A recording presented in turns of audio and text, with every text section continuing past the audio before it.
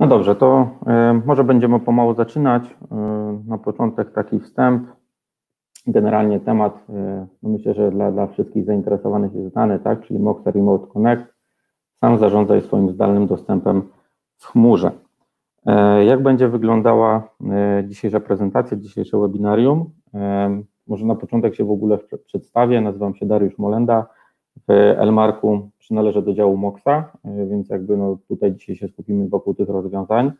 Razem ze mną jest kolega e, Piotrek Gotłowski, który poprowadzi drugą część tego spotkania, gdzie pokażemy Państwu, e, jak omówione rozwiązanie wygląda w praktyce. E, jeżeli chodzi o, o samą prezentację, w ogóle dlaczego się zdecydowaliśmy na taki temat? No, w zasadzie powody są dwa. Pierwszym z nich jest powód taki, że na początku tego roku przed wybuchem jakby tej całej sytuacji związanej z koronawirusem e, mieliśmy przyjemność odwiedzić e, największe miasta w Polsce z naszym eventem Elmarchitecture. E, jednym z takich topowych tematów, które gdzieś tam się nam udało spostrzec wśród, wśród wszystkich rozmów z naszymi partnerami, klientami, był zdalny dostęp. I jakby to jest jeden z, z takich aspektów, dlaczego się zdecydowaliśmy na ten, na ten temat. Natomiast drugą rzeczą, no, wydaje mi się, że obecna sytuacja też doskonale pokazuje, jak zdalna praca jest ważna, tak żeby ona e, przechodziła w sposób, e, że tak powiem, bardzo sprawny. E, zarówno na poziomie tym biznesowym, no bo zakładam, że tutaj większość z nas pracuje zdalnie jeszcze, jeszcze w tym momencie. Natomiast również no, pod kątem automatyki tutaj ten zdalny dostęp myślę, że jest równie istotny. Sami wiemy na własnym przykładzie, że rozmawiając z Państwem i jakby szerząc wsparcie techniczne, rozmawiając przy różnego typu e, sprawach, sami korzystamy z MOXy, e, MRC, MOXy Remote Connect, celem połączenia się zdalnego z naszymi urządzeniami, e, żeby móc Państwu pomóc w konfiguracji danych rozwiązań i tak dalej, i tak dalej.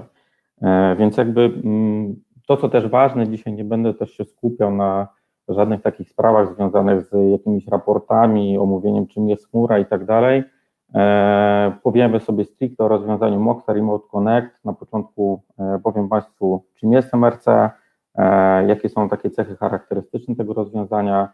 Potem, tak jak mówiłem, Piotrek przejdzie, przejdzie do części praktycznej. No i myślę też, że nie, nie będziemy zabierać Państwu zbyt dużo czasu. Myślę, że całe webinarium będzie trwało plus minus 30-40 minut, więc powiedzmy tak, żeby Państwa nie zmęczyć. No i teraz przechodząc e, może do, do samej jakby treści, na początku jeszcze przedstawię naszą firmę dla tych, którzy jej nie znają. E, Elmark Automatyka, czyli e, polski dystrybutor automatyki przemysłowej. Naszą siedzibą mieścimy się w Warszawie, mamy tak naprawdę trzy siedziby. W centrum przy ulicy Bukowińskiej, na przedmieściach Warszawy, Warszawa Wesoła. Tam mamy drugie biuro, ale również mamy magazyn. W ubiegłym roku e, sprzedaż była na poziomie powyżej 80 milionów. E, no i jako Elmark przeszkoliliśmy ponad 1500 osób, a obecnie zatrudniamy ponad 60 osób. Co nas wyróżnia? E, no myślę, że ci, którzy z nami współpracują, no to, że tak powiem, wiedzą, że nasza oferta jest dosyć kompleksowa. Jakby tutaj to, co nas charakteryzuje, też to oczywiście wieloletnie doświadczenie. Natomiast wydaje mi się, że to, co warto podkreślić, to, co nas może wyróżniać, no to bezpłatne wsparcie techniczne na każdym etapie współpracy. Czy Państwo podchodzicie do danego projektu, czy jesteście e, w trakcie jakby pracy nad danym projektem, czy zrealizowaliśmy go być może rok, dwa, trzy, cztery lata temu, jakby cały czas możecie liczyć na nasze wsparcie techniczne. Zawsze się staramy, żeby nasz personel był odpowiednio przeszkolony, e, był w stanie świadczyć odpowiednie wsparcie techniczne. No i tutaj być możliwie rzetelny. Oprócz tego e, mamy również e, autoryzowane centrum szkoleniowe, chociażby dla rozwiązań MOXA. Mamy lokalny autoryzowany serwis RMA. E, no i zawsze się też staramy, żeby nasz magazyn był, że tak powiem, możliwie dobrze wyposażony, tak aby moglibyście Państwo jak najszybciej otrzymywać rozwiązania, na które macie obecnie zapotrzebowanie. Jeżeli chodzi o naszą ofertę, no to tak jak mówiłem, jest dosyć kompleksowa i czy to będzie komunikacja przemysłowa, gdzie na przykład możemy iść z MOXą, tak samo mamy e, również inne segmenty jak zasilanie, będzie to Minwell, e, własne komputery, elmatiki, Mamy roboty współpracujące, czyli też dosyć gorący temat ostatnimi czasy. Mowa tutaj o Universal Robot. Także staramy się, żeby jakby w oparciu jednego dostawcę, mam tutaj na myśli tutaj w tej chwili Elmark, mogli, żebyście mogli Państwo zbudować sobie przynajmniej większą część systemu. Dla tych, którzy nie znają Moxy, no jest to dosyć znana marka, generalnie na rynku przemysłowym. E, ponad 30 lat doświadczenia, ponad 60 milionów urządzeń podłączonych na świecie. No i jeżeli mówimy sobie o infrastrukturze szeregowej, no to jest to zdecydowanie numer jeden. Jeżeli mówimy o ethernetowej, to też się mieści w tej czołówce i w tym top 3 e, na podium również się mieści. My jako Elmark Automatyka jesteśmy autoryzowanym dystrybutorem MOXy w Polsce, więc jeżeli macie Państwo e, być może MOXy u siebie na obiektach, e, jeżeli potrzebujecie jakiegoś wsparcia, to jak najbardziej możecie na nas liczyć.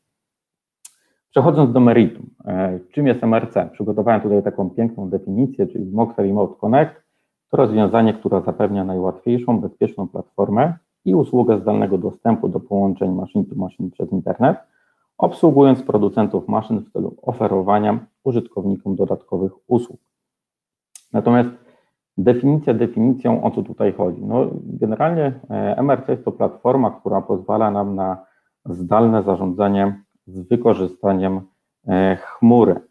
Dzięki takiemu rozwiązaniu tak naprawdę inżynier będący e, no, na jednym końcu Polski może się łączyć z maszyną czy infrastrukturą na drugim końcu czy Polski, czy świata E, no w jakim celu, tak? To może być to zdalne zarządzanie, może być to zdalny troubleshooting, e, możemy monitorować parametry pracującej maszyny, co być może później pozwoli nam wyciągnąć jakieś wnioski i odpowiednio szybko zareagować.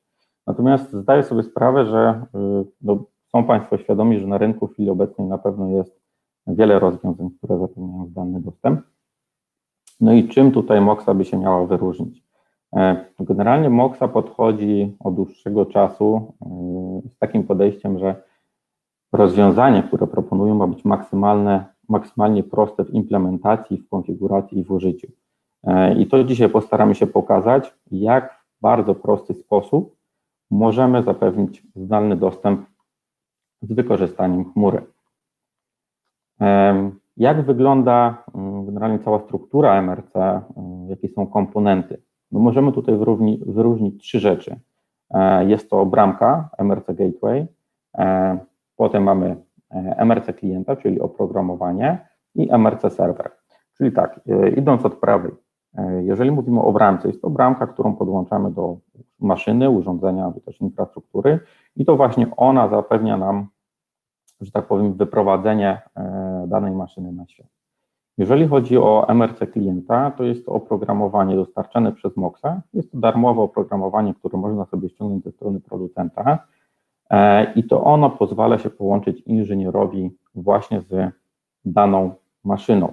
Oprogramowanie to instalujemy sobie na dowolnym komputerze, które ma wsparcie, e, które pracuje na systemie operacyjnym Windowsa.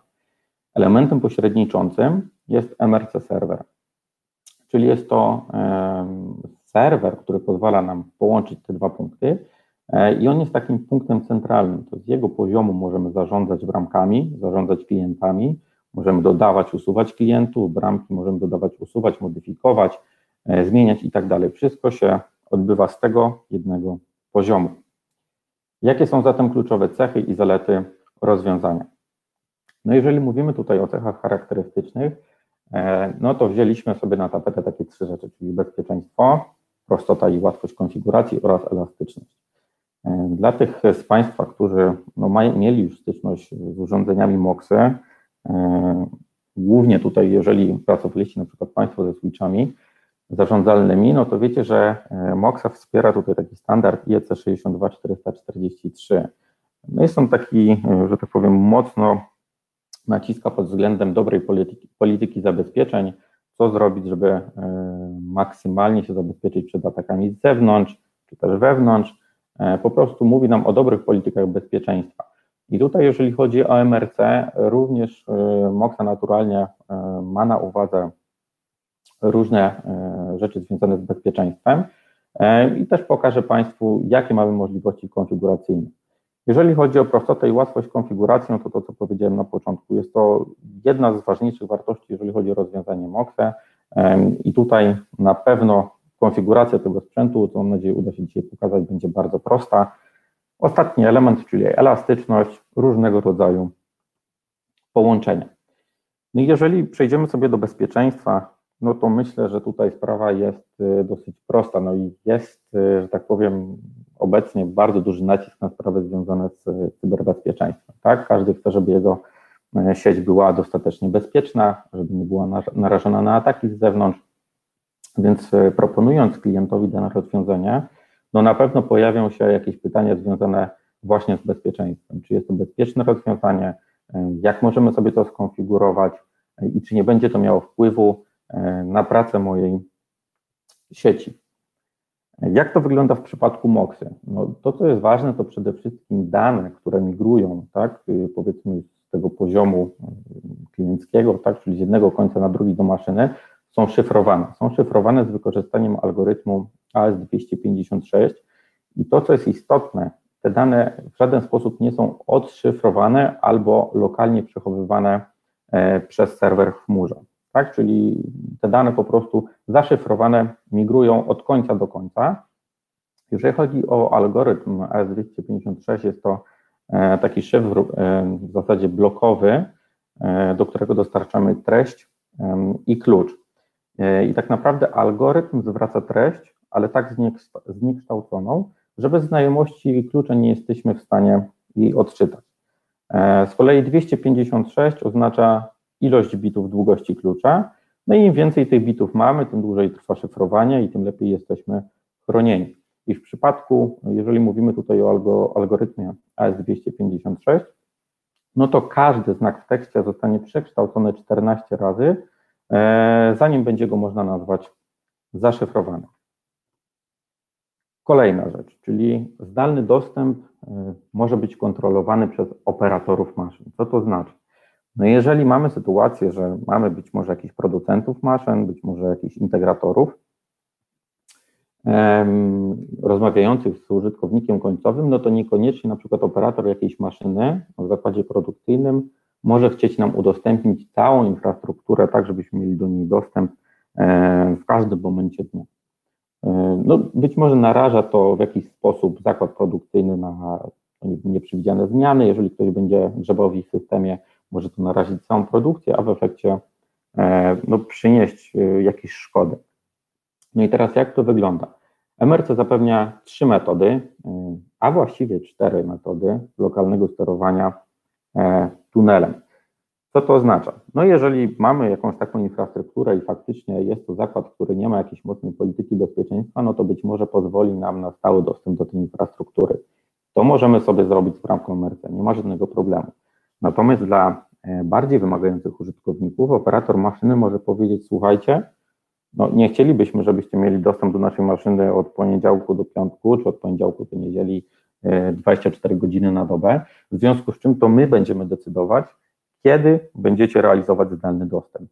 Teraz mamy mm, dwie kolejne metody. Pierwszą z nich jest klucz USB. Co to znaczy? To oznacza to, że po prostu operator maszyny podchodzi do danej bramki, wsadzę taki klucz USB i dopiero wtedy e, użytkownik, powiedzmy serwisant, który pracuje e, z lokalizacji zdalnej, ma dostęp do danej infrastruktury. Inną metodą jest wejście cyfrowe, tak? Jeżeli podłączymy tam sobie jakiś przełącznik, to po prostu możemy poprzez naciśnięcie danego przycisku udostępnić komuś dostęp do danej maszyny. I powiedziałem wcześniej, że tak naprawdę nie mamy do czynienia z trzema metodami, a z czterema, ponieważ czwartą E, którą Moxa zaimplementowała w swoim rozwiązaniu, e, jest e, taki zdalny dostęp na zasadzie definiowania czasowego. Co to znaczy? To znaczy, że użytkownik może sobie na przykład uzgodnić, że słuchajcie, no w tym tygodniu mamy ważny proces produkcyjny, ale w przyszłym tygodniu, na przykład we wtorek, planujemy przestój, więc możemy Wam udostępnić, że we wtorek, nie wiem, powiedzmy tam 5-6 maja, od godziny 12 do godziny 15 macie wolną rękę i wtedy możecie mieć dostęp do tej maszyny i możecie wtedy się bawić w zmiany parametrów i tak dalej, to czego potrzebujecie. Więc możemy sobie ustawić konkretny dzień, konkretny miesiąc i zakres od godziny danej do, do godziny na przykład od 12 do 15. Dobrze, idąc dalej, jeżeli chodzi o, o bezpieczeństwo i firewall. W takim klasycznym przypadku, gdy mówimy o jakichś połączeniach VPN-owych, bardzo często zdarza się tak, że mamy po prostu zestawione połączenie site to site, czyli jeżeli to połączenie mamy ustawione, ono oczywiście jest bezpieczne, ale uzyskujemy dostęp do całej infrastruktury. I tutaj też użytkownik, końcowy operator jakiegoś, jakiejś linii produkcyjnej być może nie chce, żeby ten serwisant miał wgląd do wszystkiego. W ten sposób może tutaj skorzystać z, tej whitelisty i dodać po prostu kolejne urządzenia z adresami IP. To oznacza, że jeżeli jest urządzeń 10 w danym obiekcie, ale zdecydowaliśmy się, że udostępniamy tylko, nie wiem, 3-4 urządzenia, bo nie chcielibyśmy, żeby ktoś ingerował nam w pozostałych 6, możemy sobie dodać je do danej listy i tylko do tych urządzeń klient będzie miał dostęp.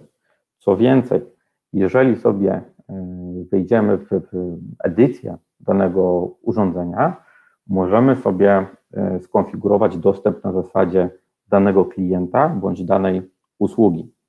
To oznacza, że na przykład do urządzenia, nie wiem, kontroler 1, tak jak mamy tam mm, na rysunku powyżej, możemy mieć dostęp tylko z wykorzystaniem Modbusa albo tylko po HTTPS i możemy sobie ustawić, że dostęp do tej maszyny będzie miał na przykład tylko Michał, Michał, Paweł, Jacek, bądź będą mogli mieć wszyscy. Więc mamy tutaj e, różne kombinacje. Zatem jedna reguła może zawierać tylko usługę, tylko klienta lub oba jednocześnie. E, to, co jest też ważne, to jakby te porty e, są wstępnie zdefiniowane, tak? Na przykład dla Modbusa będzie to wstępnie zdefiniowane port 502, czy dla Telnetu 23, natomiast możemy sobie e, również się konfigurować i ustawiać w, w, w takich, że tak powiem, niestandardowych regułach. No dobrze, jak z tym bezproblemowym wdrożeniem rozwiązania? E, tak jak mówiłem, prostota i łatwość konfiguracji jest to jeden z elementów, na których Moxa kładzie nacisk. No i pierwszą z takich ważnych rzeczy jest e, plug and play. Co to oznacza? Oznacza to to, że tak naprawdę inżynier, który będzie implementował już na miejscu dany moduł, wcale nie musi mieć jakiejś zaawansowanej znajomości technicznych, umiejętności technicznych odnośnie konfiguracji tego urządzenia, ponieważ tak jak powiedziałem na początku, wszystko konfigurujemy z poziomu e, serwera.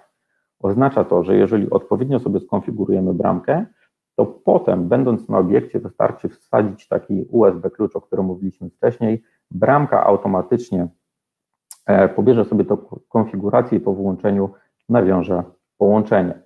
Cały jakby interfejs y, jest dosyć intuicyjny i, i, wydaje mi się, że łatwy, to też zostanie później pokazane. Myślę, że, że tutaj nie będzie problemu z przekonaniem Państwa, że e, faktycznie jest to dosyć przyjazne. E, oprócz tego firewall friendly, tak, czyli domyślne użycie portu TCP 443, czyli jest to port zwykle zarezerwowany dla bezpiecznego dostępu do strony internetowej za pomocą SSL. E, więc wydaje mi się, że tutaj, jeżeli mamy takie podejście, to też nie powinno stwarzać to żadnych problemów dla, dla działów IT, które no niekiedy bywają problematyczne w tych kwestiach. Ostatnia rzecz to e, z, związane są z adresami IP. To jest dosyć istotne, e, ponieważ e, nasze rozwiązanie mm, nadaje wirtualne adresy IP. Co to znaczy? Oznacza to to, że jeżeli mają Państwo jakiś fragment sieci czy maszynę, macie już jakieś zdefiniowane adresy IP, no to jeżeli chcemy, żeby nasze wdrożenie, nasza implementacja była możliwie prosta, no to fajnie by było nie ingerować jakby w istniejącą sieć, tak? Nie głowić się nad tym, czy adresy powinny zostać zmienione, e, jeżeli tak, to na, na jaką pulę. Oczywiście nie możemy tutaj dopuścić do konfliktu adresów IP, no bo ta komunikacja wtedy nie będzie możliwa, a z kolei jak będziemy się już chcieli zalogować do jakiegoś urządzenia, to też nie będziemy wiedzieli, do którego konkretnie.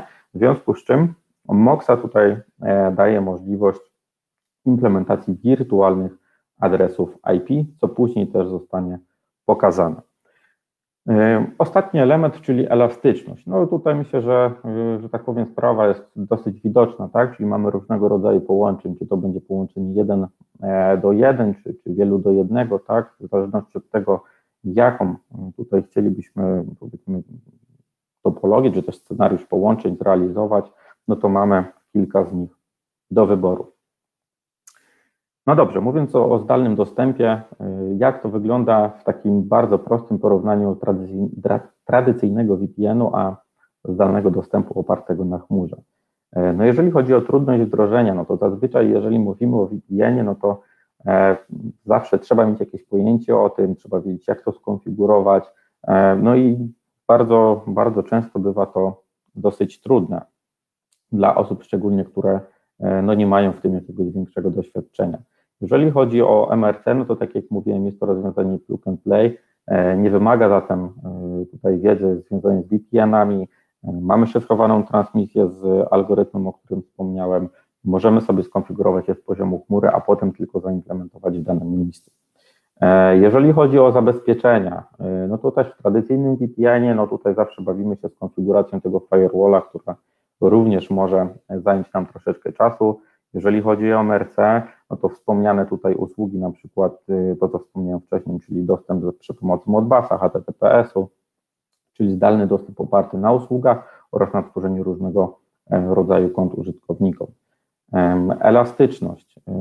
Tutaj w przypadku MRC, tak jak mówiłem, nie trzeba zmieniać polityki IT, nie trzeba też zmieniać konfiguracji istniejącej sieci i jej adresacji. Poprzez nadanie wirtualnych adresów IP ten temat mamy e, załatwiony, więc y, tak wygląda takie bardzo proste porównanie tradycyjnego VPN-u ze zdalnym dostępem MRC. No i to by było w zasadzie na tyle, jeżeli chodzi o takie powiedzmy rzeczy techniczne, jak to wygląda z naszej strony. Natomiast przejdźmy sobie do modelu biznesowego, tak? Czyli jeżeli bylibyście Państwo zainteresowani implementacją takiego rozwiązania, no to co się składa na, na strukturę MRC? Tak jak powiedziałem, jest to oprogramowanie, e, czyli MRC Software, e, Client Software. Jest to oprogramowanie darmowe, które możemy ściągnąć ze strony producenta. Następnie mamy serwer MRC. E, serwer MRC jest na zasadzie licencji. Pierwsza licencja to jest do 10 urządzeń, natomiast potem możemy sobie to upgrade'ować o 25 lub 100, w zależności od tego, jak duże jest nasze zapotrzebowanie. No i ostatnim elementem jest bramka MRC. E, jest to bramka, która tak naprawdę występuje w dwóch wariantach, czyli jest to model przewodowy E, i bezprzewodowy. Jeżeli mamy jakieś e, lokalizacje mocno rozproszone i chcielibyśmy się zdecydować tutaj na zaimplementowanie kart SIM i wykorzystanie na przykład komunikacji LTE, to jak najbardziej również jest to możliwe. Jeżeli sobie spojrzymy na strukturę kosztową, to tak naprawdę punkty 1, 4 i 5 są związane jakby tutaj ze stroną MOXy, tak? Czyli mówimy o jedynce, jest to software, w zasadzie ten serwer MRC. Jest to zakup jednorazowy, oczywiście z możliwością upgrade'ów o wspomnianej ilości. Punkt czwarty to jest y, oprogramowanie mm, Moxy, to bezpłatne. Jeżeli chodzi o bramkę, no to jest to zakup jednorazowy. Natomiast musimy się liczyć z tym, że jeżeli mówimy tutaj o, o zdalnym dostępie e, przez chmurę, no to również musimy skorzystać z e, jakichś usług, tak? I na przykład w przypadku E, Amazonu, no to trzeba będzie jeszcze tutaj sobie pomyśleć o wirtualnej maszynie, gdzie będą jakieś opłaty cykliczne z tym związane, no ale oprócz tego trzeba również wziąć pod uwagę zużycie, tak? Czyli w zależności od tego, jak dużo tych danych będziemy przetwarzać, no to oczywiście te koszty będą rosnąć. E, natomiast no, może się to wydawać trochę skomplikowane e, jakby rozwiązanie dla być może nieco większych partnerów, większych klientów. Natomiast jak jest z tym takim sektorem małych i średnich przedsiębiorstw? To, z czym my się spotykamy, no to przede wszystkim, no nie ukrywając, jest wątpliwość przed wdrożeniem rozwiązań chmurowych. E, wydaje mi się, że no, dobrym kierunku idziemy. Tych rozwiązań chmurowych jest coraz więcej, coraz większa jest chęć. E, natomiast zawsze, y, znaczy zawsze, w wielu przypadkach klienci mają jakieś wątpliwości przed wdrożeniem, czy to na pewno będzie rozwiązanie dla nich, czy to będzie rozwiązanie bezpieczne, czy to będzie działało.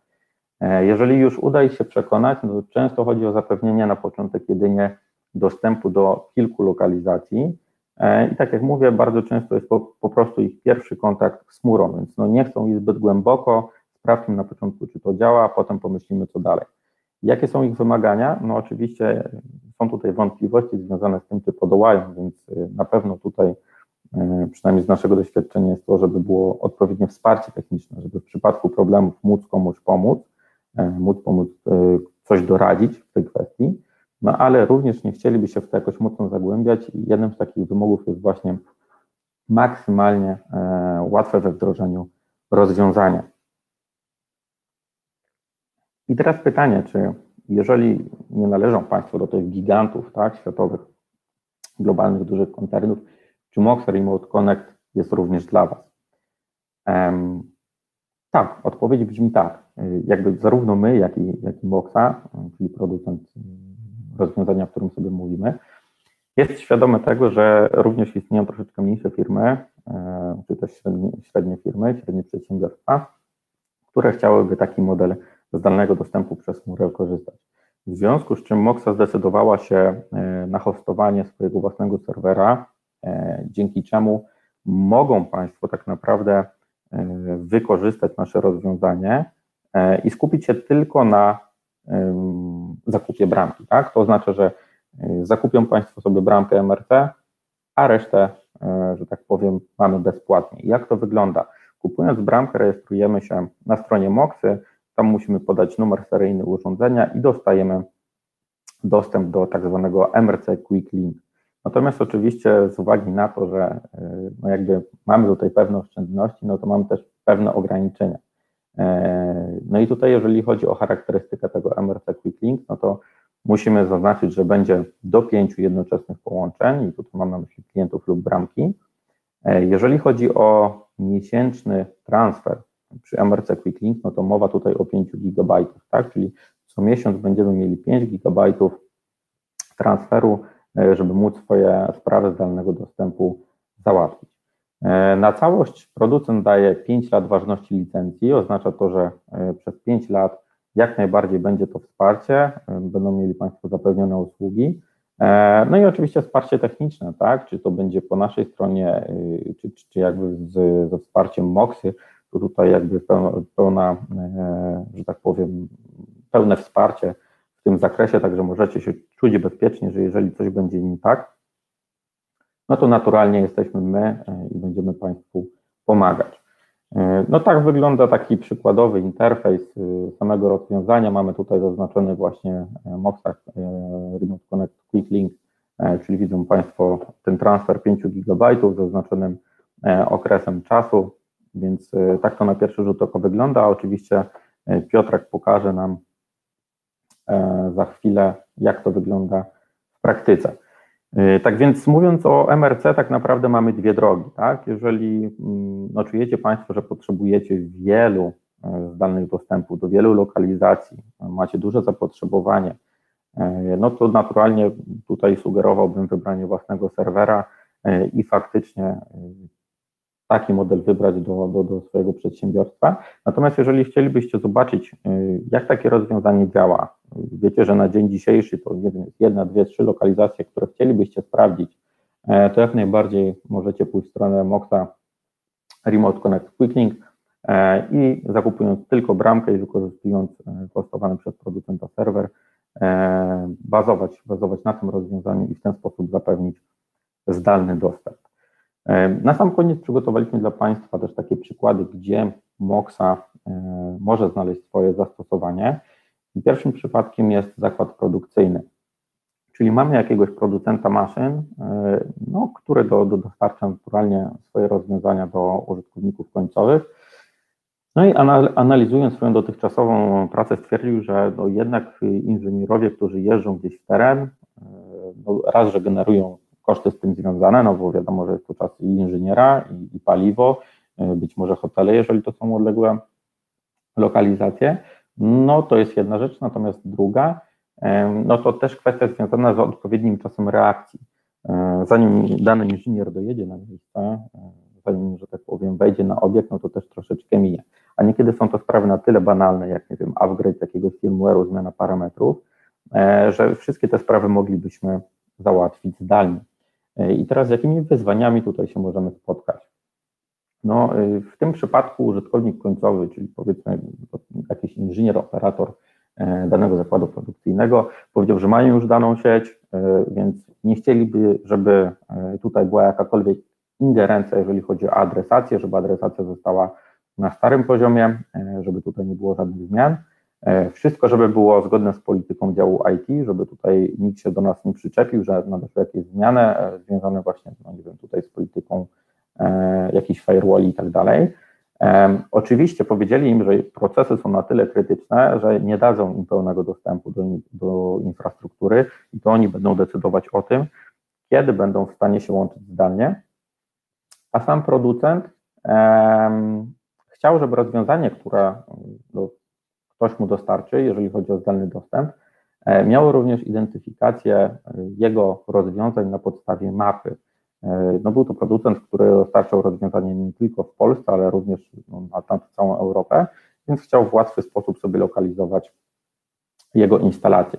No i teraz dlaczego Moxa? W tym przypadku e, to, co powiedzieliśmy sobie dotychczas, czyli e, wirtualna adresacja adresów IP.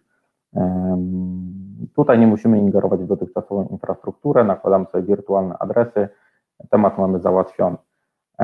Firewall friendly, E, oprócz tego dostęp na żądanie, czyli wspomniany klucz USB, czy, czy wejście cyfrowe, o którym sobie mówiliśmy, a także wybraną powiedzmy datę w danym miesiącu, tak, dany dzień, o danych godzinach.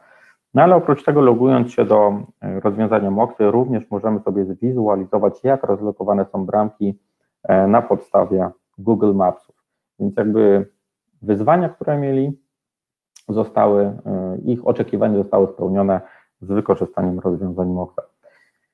Drugi przypadek to roboty współpracujące. E, jeden z początkowych integratorów zajmujących się tematem no, padł na pomysł, że chcieliby e, mieć dosyć nowoczesne rozwiązanie, no i żeby faktycznie przed tym, jak jakiś inżynier miałby jechać na obiekt, żeby mogli sobie zdalnie sprawdzić, e, co się dzieje i czy są w stanie, że tak powiem, rozwiązać problem zdalnie. Na czym im zależało? No chodziło przede wszystkim o prostotę rozwiązania. Nie chcieli, żeby to było coś skomplikowanego, miało być maksymalnie proste i spełniające e, swoją funkcję. E, no, dla początkowych wdrożeń no, też się zdecydowali, jakby tutaj słusznie, że no, nie mają czy też chęci, czy, czy być może funduszy, żeby utrzymywać własną chmurę. Więc dobrze by było, żeby no, były tutaj jakieś e, powiedzmy, powiedzmy niskobudżetowe rozwiązania. Oprócz tego zależało im na tym, żeby oczywiście sama komunikacja była szyfrowana. Z kolei użytkownik końcowy miał y, no, na tyle ważne procesy i jakby tutaj y, też ten robot y, cały czas pracował, więc również tutaj był ten wymóg, żeby była kontrola nad dostęp, dostępem tej infrastruktury. No i jeżeli mówimy o Moxie, no to w tym przypadku, tak jak Państwo tutaj widzą, mamy rozwiązanie plug and play, tak? czyli tą prostotę rozwiązania, gdzie możemy sobie z poziomu serwera MRC skonfigurować daną bramkę, potem ją tylko podłączyć i wgrać przez y, klucz USB daną konfigurację. E, jeżeli chodzi o utrzymywanie tutaj tej własnej której, y, chmury, której mm, inżynier czy też przedsiębiorstwo nie chciało, nie chciało utrzymywać, skorzystali z Moxa QuickLink, czyli tego rozwiązania, e, gdzie, gdzie Moxa hostuje tą, ten serwer, tą chmurę.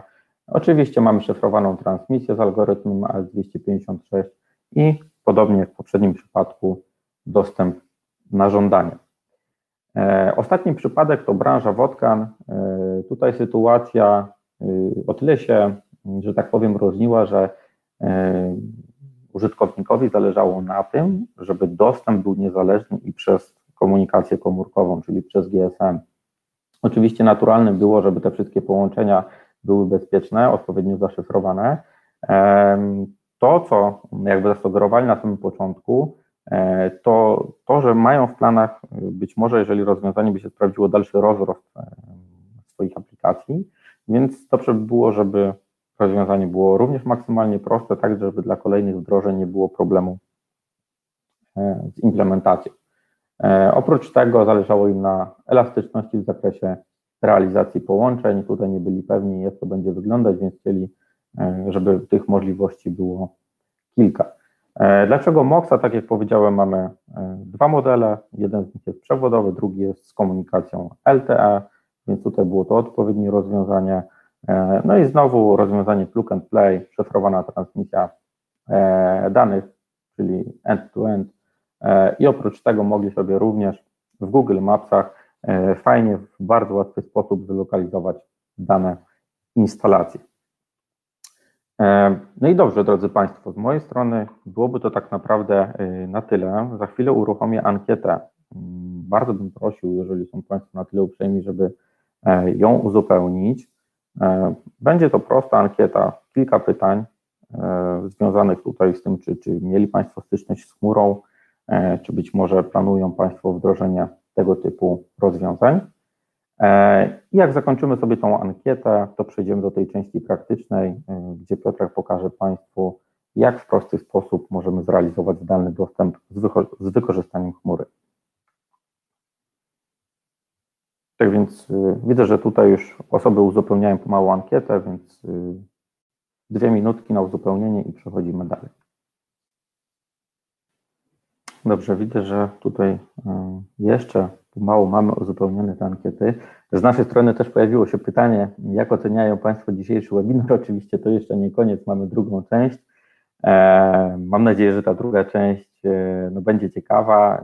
Tak jak mówię, zawsze takie rozwiązania praktyczne wydaje mi się, że są e, ciekawsze. Można zobaczyć na żywym organizmie, jak to wygląda.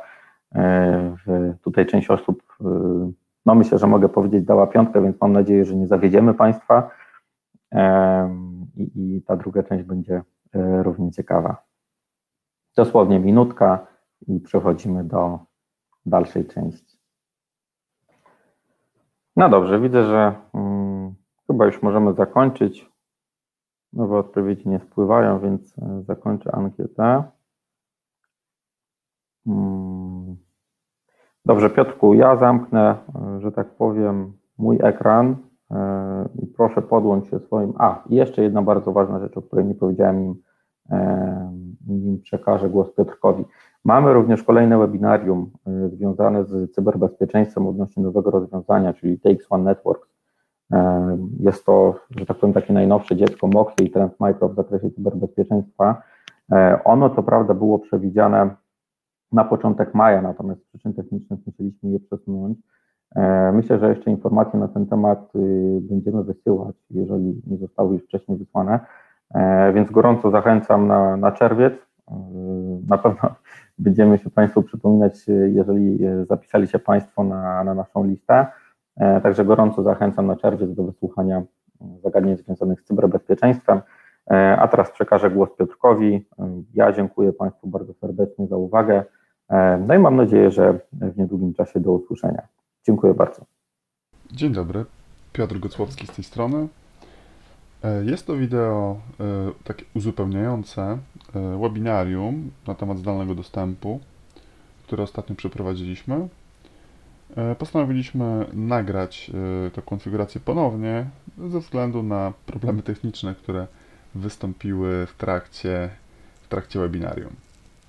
I tak, w tym, w, w tym, w tym wideo pokażę, jak skonfigurować e, serwer MRC, jak tam dodawać klientów, e, jak dodawać bramki, a także jak potem łączyć się za pomocą klienta MRC do urządzeń zdalnych. Zapraszam. W pierwszej kolejności zalogujemy się do serwera MRC, aby dodać e, klienta aby dodać na początku bramkę, a potem klienta. Tu mamy serwer testowy.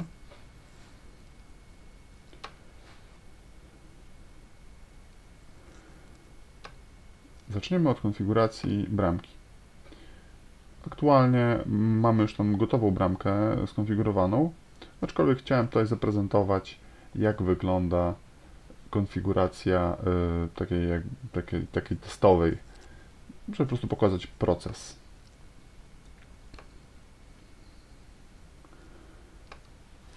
możemy wymyślić jakąś nazwę.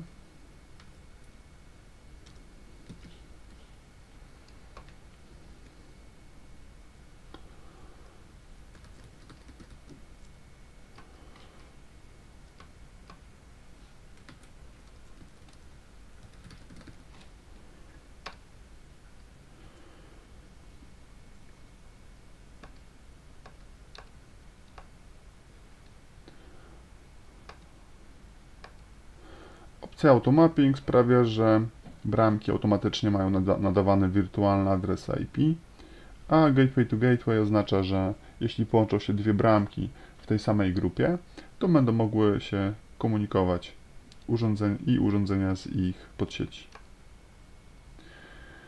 Tu mamy trzy schematy komunikacji. Najbardziej popularnym będzie ten pierwszy, czyli y, konfiguracja, dostęp gatewaya do internetu przez sieć lokalną, inną niż sieć, w której są maszyny i urządzenia. E, no, inne warianty nas tutaj przy tej konfiguracji na razie nie interesują. Tutaj konfigurujemy interfejs y, tego, tej sieci, y, za pośrednictwem której bramka będzie łączyła się do internetu. Najpopularniejszy oczywiście DHCP, czyli dynamiczne uzyskiwanie adresu. Tutaj mamy adres IP do zarządzania, który będzie widoczny od strony maszyn i także maskę. Ostatnim krokiem jest dodanie urządzeń. Wystarczy podać jakąś nazwę.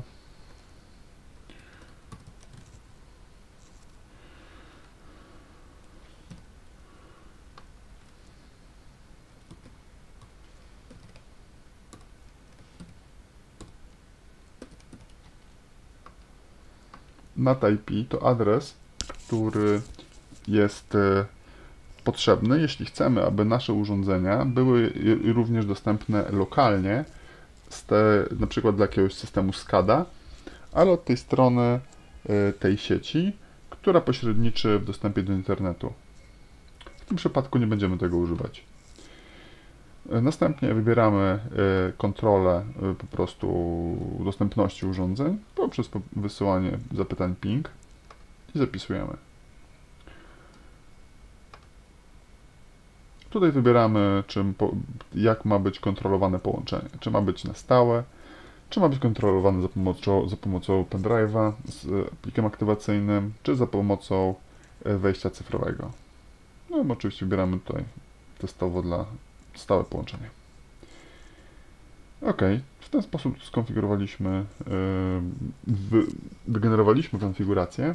Następnie wystarczy pobrać, ten plik aktywacyjny i zakończyć.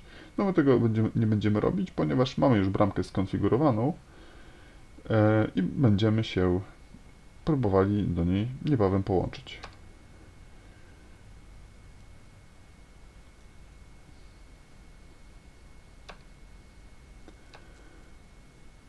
Następnie przechodzimy do dodawania klientów MRC. E, pokażę jeszcze na, gra na grafice, jak to wygląda. Czyli e, na tym etapie e, mam, wygenerowaliśmy na serwerze plik aktywacyjny dla, dla gatewaya, dla MRC Gateway. Można go zaimportować na kilka sposobów, no, no, albo za pomocą pendrive'a, albo łącząc się do interfejsu sieciowego i po prostu import, importując ten plik. Następnym krokiem będzie dodanie konfiguracji klienta na serwerze MRC.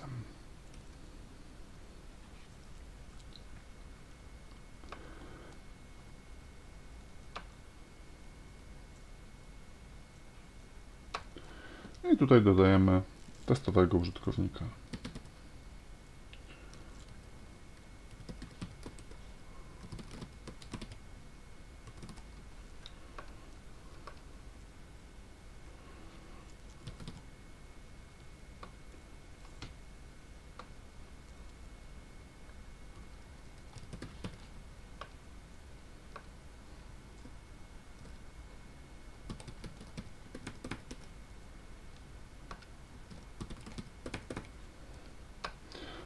Ciekawą funkcją i przydatną jest e, możliwość wyznaczenia okresu, zakresu, e, w jakim klient MRC, którego dodajemy, będzie mógł łączyć się z, z bramką, z gatewayem. Jest to szczególnie przydatne, jeśli chcemy przydzielić komuś z zewnątrz dostęp, ale tylko w określonym czasie.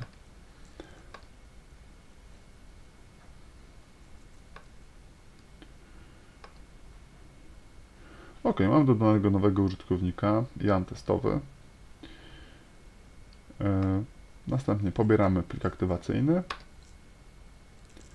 I na tym etapie możemy już spróbować połączyć się za pomocą aplikacji e, MRC Client, połączyć się do naszej bramki.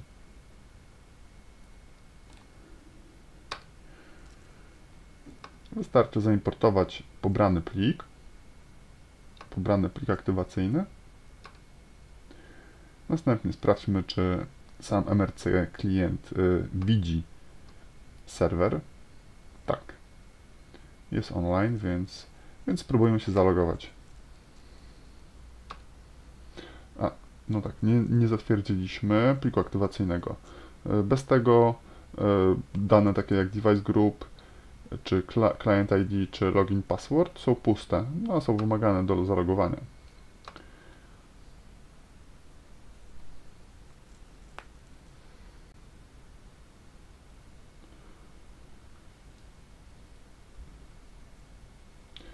Ok, i tutaj widzimy, że połączenie zostało nawiązane poprawnie. Mamy też podany okres, y, czas, y, ile mamy jeszcze czasu na konfigurację i spróbujemy się połączyć z urządzeniami. Widzimy że ich statusy, widzimy, że wszystkie są na zielono, czyli powinny być dostępne. Aby wyłączyć połączenie z każdym z nich, można albo pojedynczo zaznaczać włączenie tunelu, albo zaznaczyć dla wszystkich y, urządzeń podłączonych do tego gatewaya.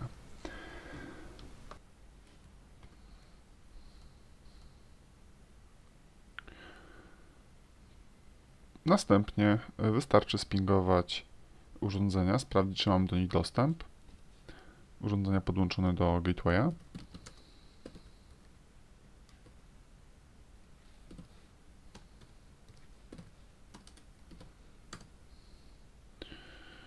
Jak widać mam przynajmniej do pierwszego. Sprawdźmy pozostałe.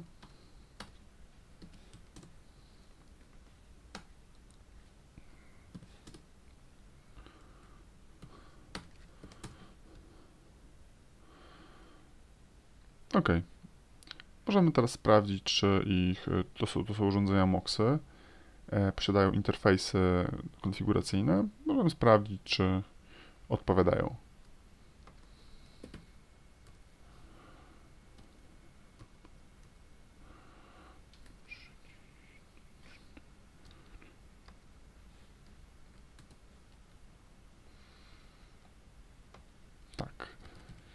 czyli interfejs ADS-a 408A jak najbardziej jest dostępny.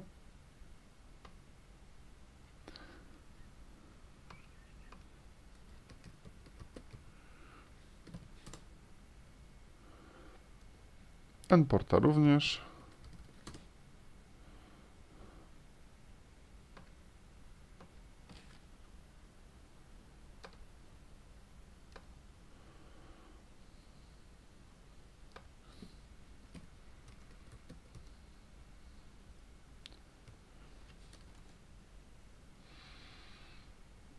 Nport 6450 również jest dostępny.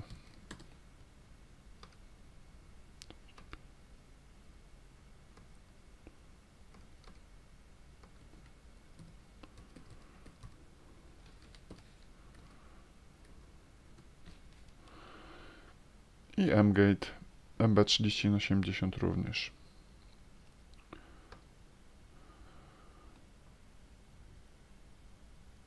Tak, jak widać, połącze- y, sama konfiguracja y, tego rozwiązania jest dosyć prosta, dosyć intuicyjna y, i nie wymaga jakiejś specjalistycznej wiedzy.